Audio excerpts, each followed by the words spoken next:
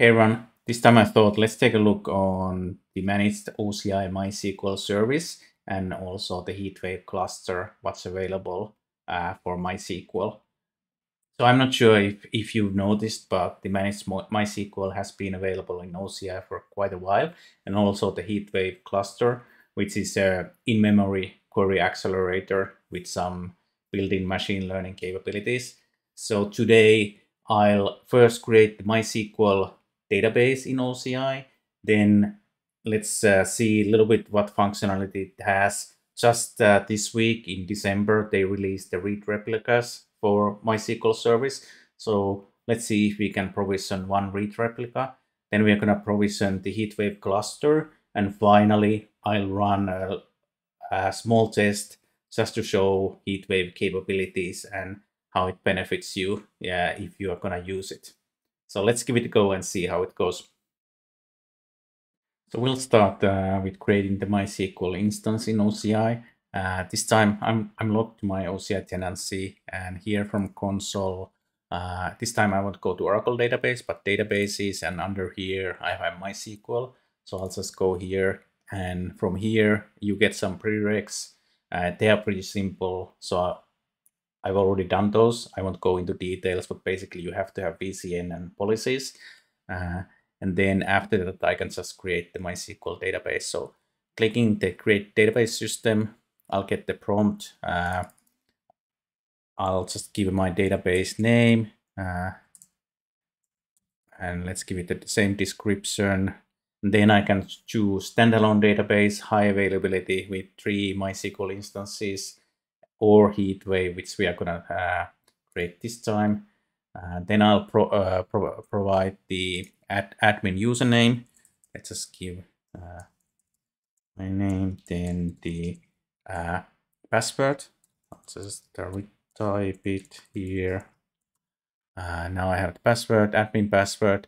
Then configure networking. So if you are if you don't have networking in the same compartment, just gonna switch the compartment. I know I have my VCN here, uh, and then I have my private subnet here uh, in the same uh, compartment where my network com uh, components are. So I'll choose those, only one AD in this region. I'm not gonna choose fault domain, I'll let OCI handle that. Then configure hardware. So here you have to uh, pick a correct shape. So when, when you provision Heatwave cluster, you have to have a shape that supports Heatwave. So I'm just gonna pick the, uh, the default one, what it uh, suggests. Then data storage size, I'm just gonna keep it as is. Um, configure backups. So we could enable automatic backups, which we are gonna do. And then the backup retention, uh, let's use just the default seven days. Enable point in time restore, okay, let's leave it as is. And then I could further tune the backup window if I would like to do, but I'll just leave it empty for now. Let's see what's under advanced options. So here a little bit more, a uh, little bit more options, deletion plan, uh, what happens when when I delete it, or if if I can protect uh, the database system uh, altogether about deletion, configuration.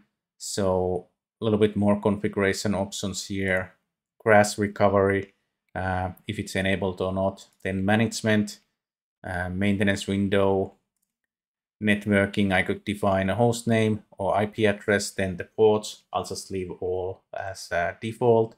And also data import, which is pretty cool. You can import the data uh, at the same time as, as you're creating the database. So that's nice. Uh, you would need to create a pre-authenticated URL for uh, for uh, for object storage bucket. Uh, but that's it. I'll, I'll just create the database and then after it's created, we can see about the read replicas and then also uh, on the Heatwave cluster. So I'll just uh, click create and then the database uh, starts to be created and I'll pause the video and then once it's created, I'll, I'll continue from there. Okay, so that took like 15 minutes to get the MySQL uh, database created with this uh, heatwave shape.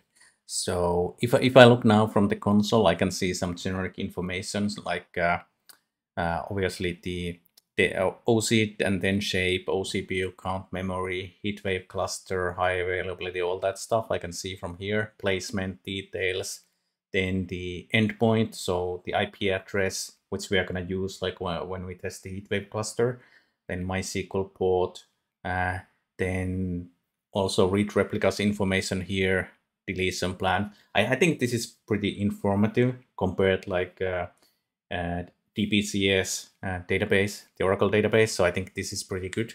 The Oracle database has obviously a lot of information as well, but I think like this is, I, think just neatly done. So I like it. And then on the left side, we can see all the different things here. Endpoints. So if I click endpoints, it'll show uh, what kind of endpoint, read, write, primary database system, uh, address. And I think once we create the read replica, we should see a new new endpoint here. Mm. So let's give it a go uh, here.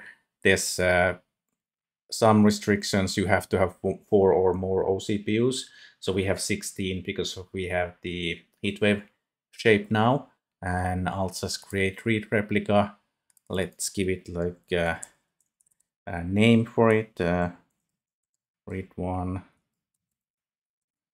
uh, what's under advanced deletion plan again. So we could just enable that, but let's just create the read replica and see uh, how long it takes to create and if there's any issues. So I'll just click this and then I'll pause the video and then we'll continue after it's created. Okay, the replica is now created.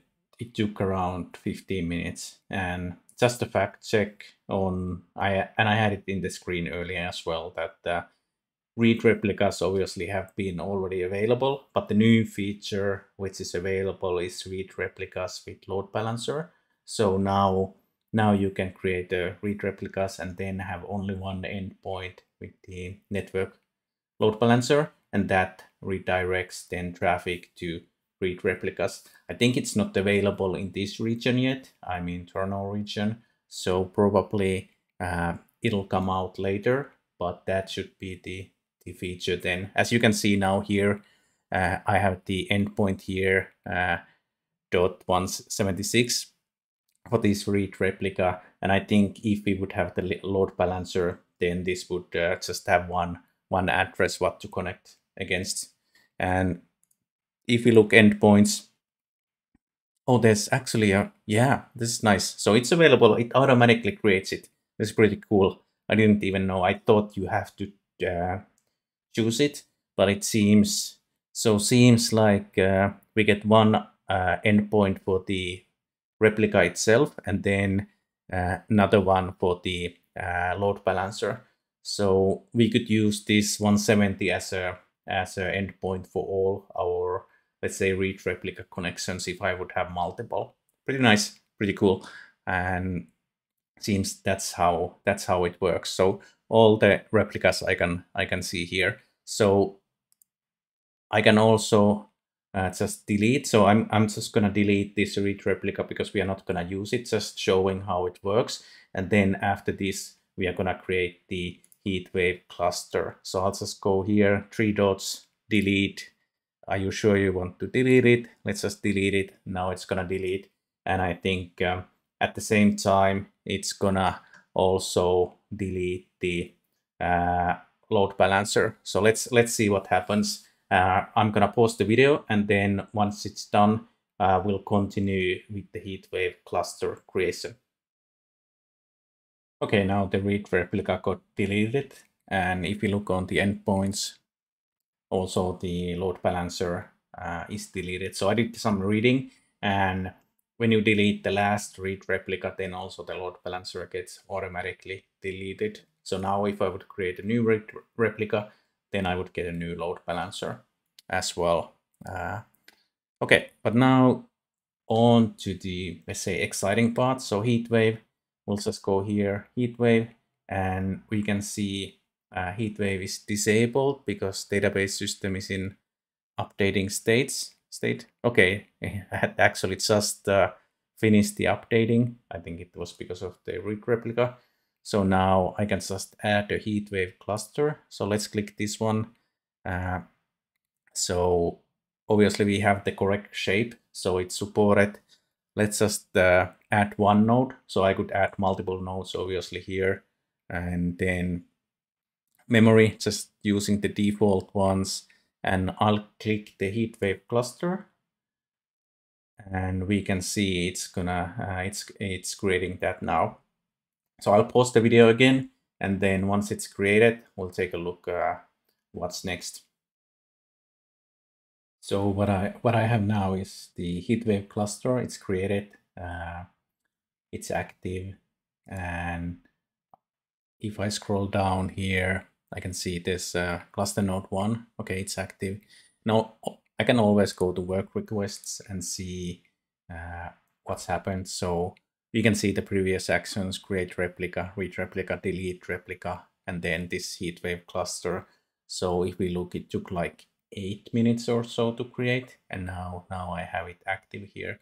So what I'm gonna do next is that uh, let's just run this uh, quick start, uh, what, uh, what they have in the documentation. So this airport DB Analytics Quick Start.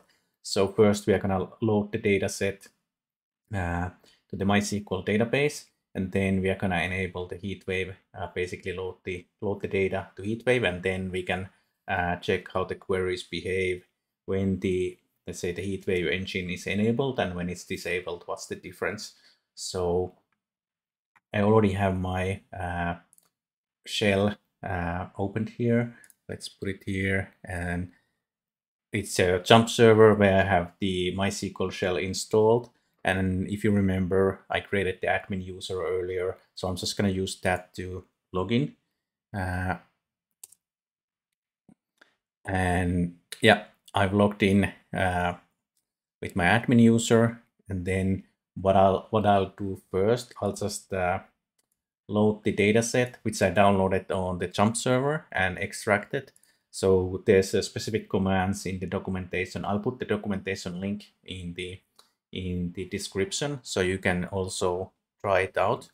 Uh, I'll just paste the first command. So this is gonna load the data and you can see 16 threads and it's gonna take a while. So I'll just pause the video again and then continue once this is loaded. Okay, I have the tables now loaded. Uh, as you can see, it took like five minutes. And next I'm gonna switch to uh, SQL.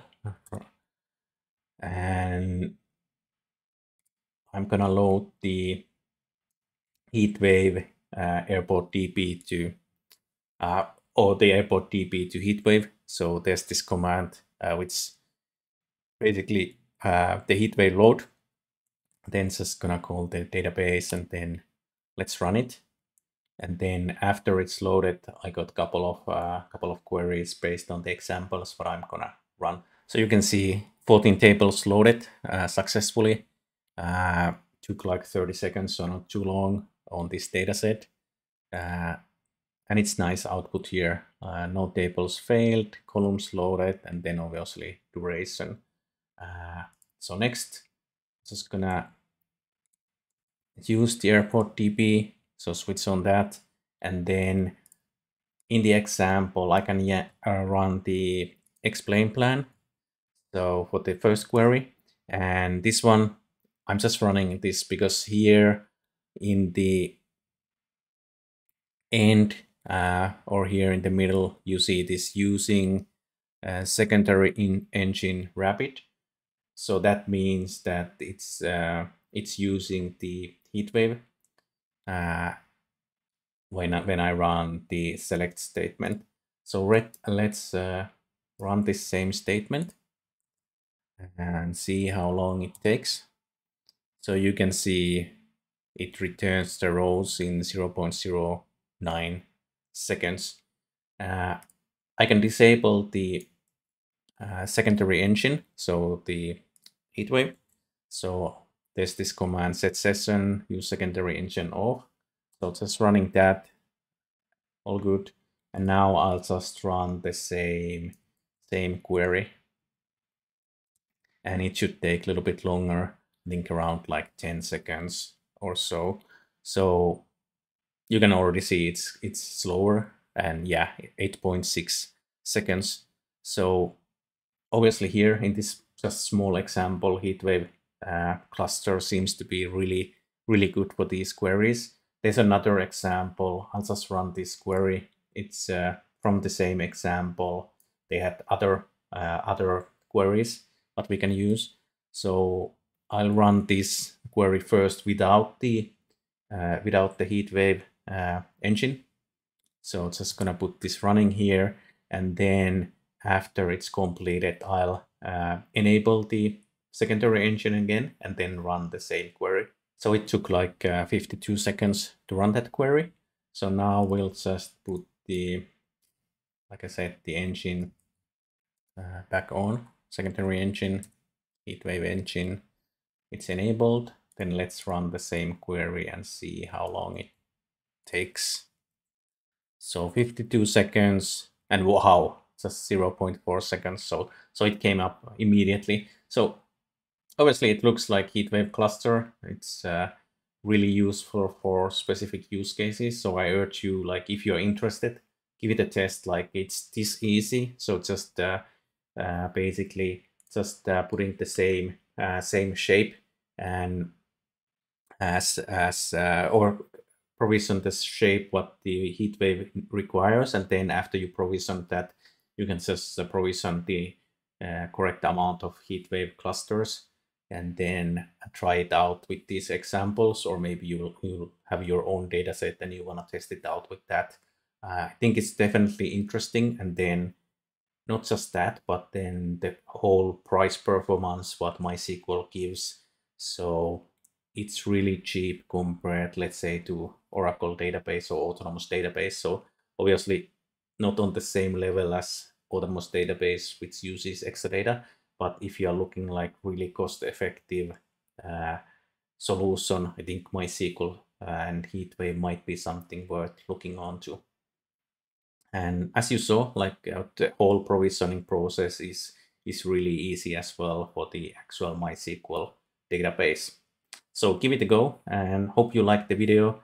Uh, subscribe if you like this. I'll, I'll just uh, keep on making some new videos, hopefully which interest you as well. Uh, Thanks again for watching and see you.